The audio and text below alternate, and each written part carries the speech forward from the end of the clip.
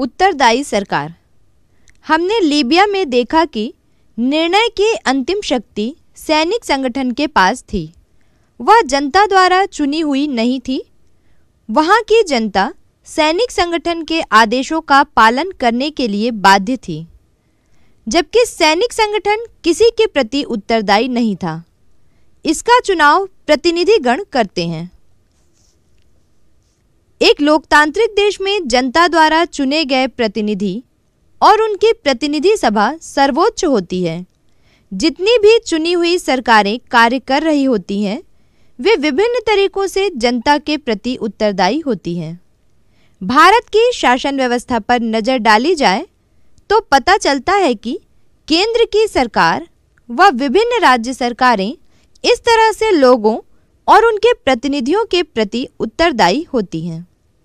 भारत में कार्यपालिका के सभी लोग, जैसे प्रधानमंत्री, मुख्यमंत्री मंत्री परिषदों के मंत्री व उच्च अधिकारी, संसद और राज्य विधानमंडलों व्यवस्थापिका के प्रति उत्तरदायी होते हैं। इनका चुनाव प्रतिनिधिगण करते हैं। निश्चित अवधि के बाद चुनाव। सभी सरकारों का चुनाव एक निश्चित समय के लिए किया जाता है। क्या आप बता सकते हैं कि भारत में इसकी अवधि कितने वर्ष के लिए होती है?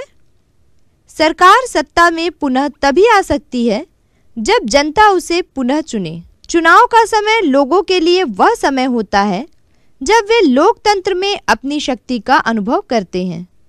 इस तरह निश्चित अवधि के बाद नियमित चुनाव होने पर जनता का सरकार पर नियंत्रण बना रहता है।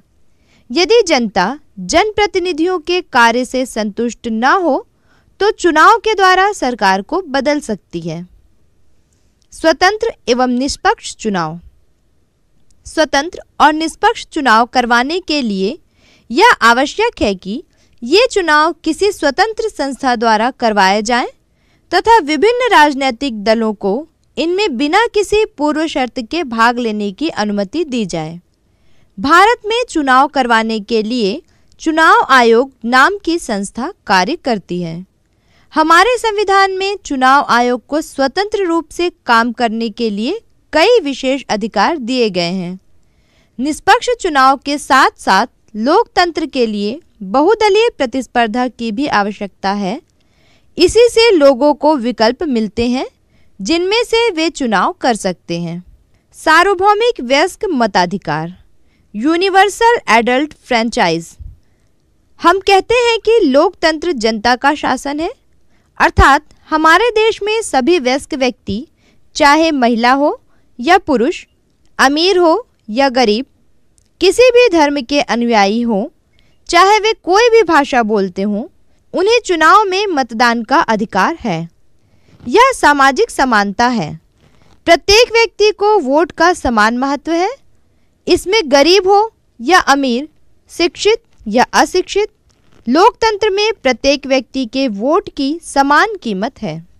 प्रारंभ में कुछ देशों में मतदान का अधिकार मात्र उन लोगों को ही प्राप्त था, जिनके पास संपत्ति थी या कर यानी कि टैक्स देते थे। धीरे धीरे संघर्ष के बाद कई देशों में मताधिकार सभी को दिया जाने लगा।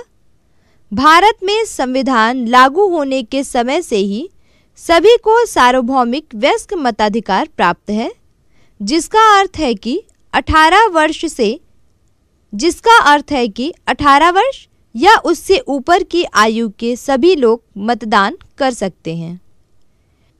लोकतंत्र में जन भागीदारी लोकतंत्र में शासन के संचालन में जनता की भागीदारी होती है।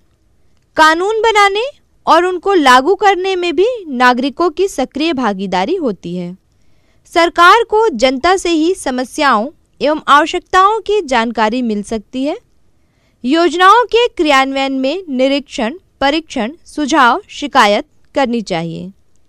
लोकतंत्र की मजबूती के लिए नीति निर्माण से पूर्व जनता में विभिन्न माध्यमों से व्यापक चर्चा होती है।